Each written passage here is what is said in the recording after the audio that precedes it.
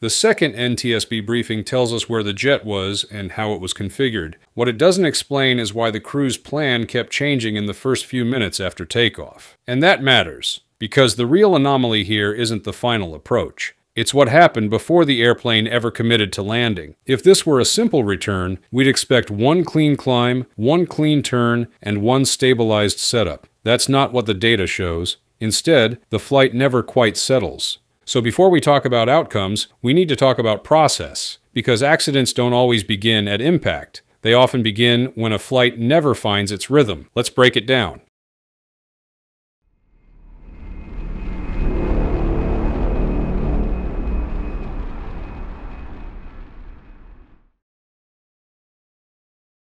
When investigators look at early ADSB data, they're not just looking for altitude loss, they're looking for patterns. And one pattern stands out here a repeated series of climbs and descents, not a single continuous descent, not a clean climb out followed by a return, but a profile that looks uneven, almost like the airplane is searching for a stable state and not quite finding one. It would be easy to describe that as descending, but that misses the point. What matters isn't the net change in altitude. What matters is the interruption of stabilization.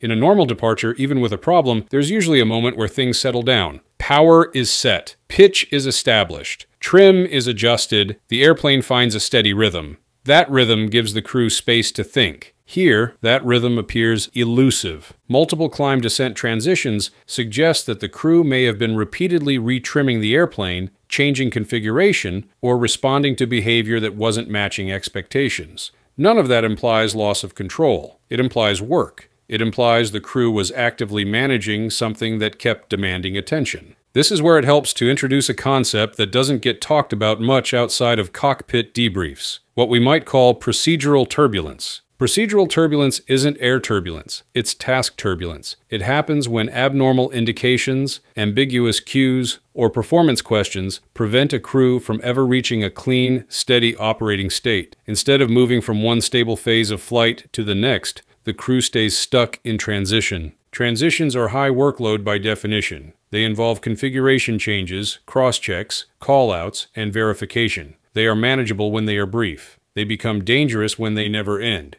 And that's the key insight here. Accidents don't always start with loss of control. Sometimes they start with failure to ever regain normal rhythm. When the airplane never quite settles, neither does the crew's workload. Every second remains busy, even if nothing dramatic is happening.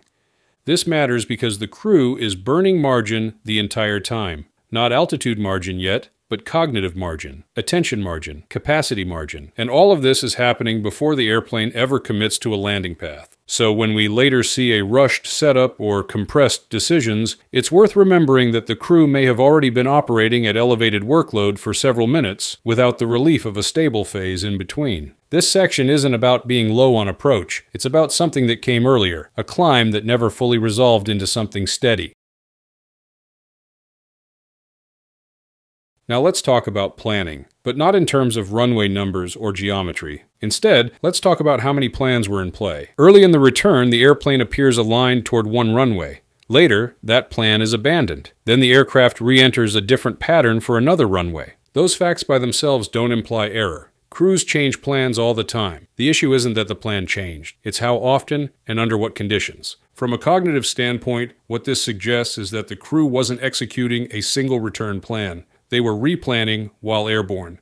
Every time a plan changes, even slightly, new questions appear. Do we keep the current configuration or change it? Do we continue this turn or widen it? Do we need to rebrief? Do roles change? Does someone take the radios? Does someone monitor performance? These questions don't come one at a time. They come in clusters, and they often arrive while the airplane is already in motion, already configured, already committed to a turn. This is why decision churn matters.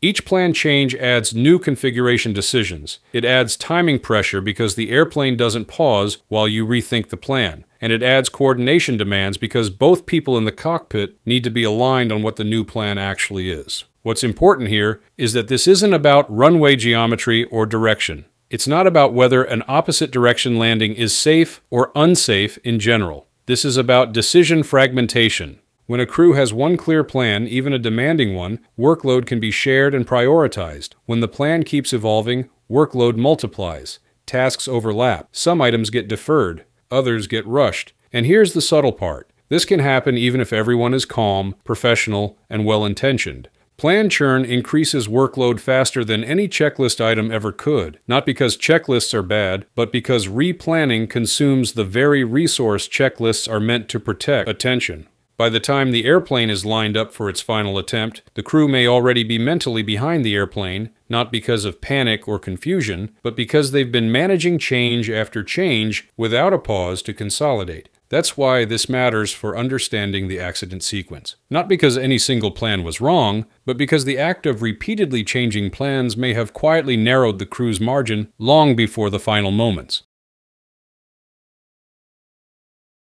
There's a phase of abnormal flight that rarely shows up clearly in data plots, and it often doesn't sound dramatic on cockpit recordings either. It's the space between recognizing that something isn't right and deciding what that something actually is. In this accident, that gap likely occurred very early, after liftoff, but before any stabilized return existed.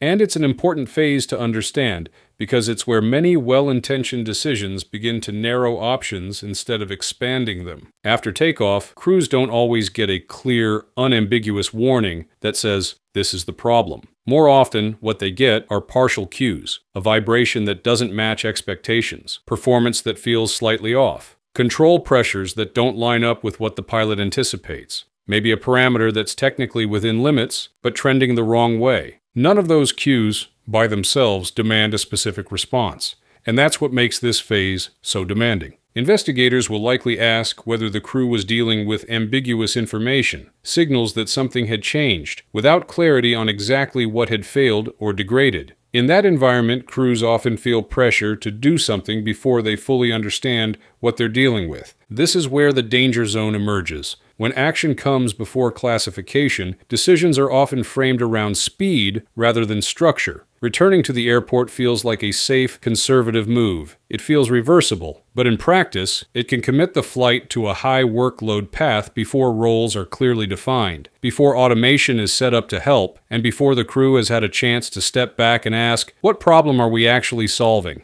Once that path is chosen, the airplane keeps moving. Turns have to be flown, configurations have to be managed, radios still need attention, and all of this happens while the crew is still sorting out what's normal and what isn't. The key point here is not urgency. You already explored that in depth earlier. This is about timing. Early action can lock a crew into a sequence of tasks that leaves little room to slow things down later. And if that action happens before responsibilities are clearly divided or before automation is fully engaged, task saturation can develop quietly without any obvious moment of overload. From the outside, it can look like a prompt response. From the inside, it can feel like trying to build a plan while already executing it. That's why this gap matters. Not because it proves anything yet, but because it's often where options begin to narrow long before anyone realizes they have.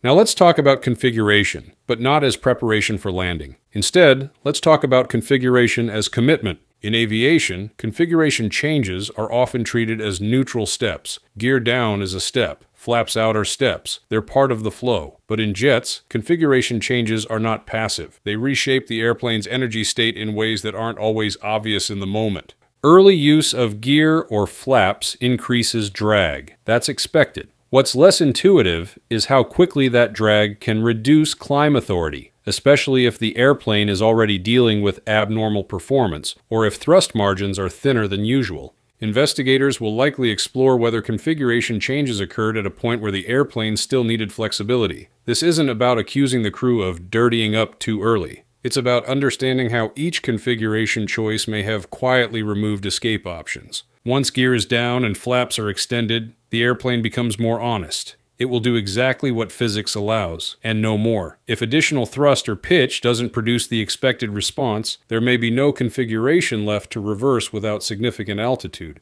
This is where an important distinction comes in. A jet can be perfectly aligned with the runway. It can be perfectly under control. It can even feel stable to the crew, and still be unable to arrest a descent once fully configured. That doesn't require a dramatic failure. It doesn't require loss of control. It only requires an energy state that has already been committed, with no margin left to trade. This is why configuration isn't just preparation. It's a decision, and like many decisions in aviation, it's one that becomes much harder or impossible to undo once made. In early analysis, investigators won't assume that configuration caused the outcome but they will ask whether configuration timing aligned with the airplane's actual performance capability at that moment.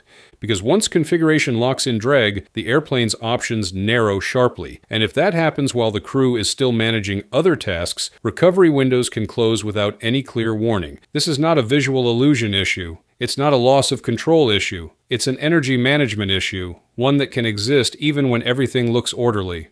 This accident won't ultimately hinge on weather, runway alignment, or even the final seconds before impact. It will hinge on how quickly complexity accumulated and how little margin remained once it did. The follow up data won't just tell us what the airplane was doing, it will help explain how the crew's options narrowed step by step before anyone realized how constrained the situation had become. That's why early analysis matters, not to assign blame, not to guess outcomes, but to understand how reasonable decisions, made under evolving conditions, can quietly stack until there's very little room left to maneuver.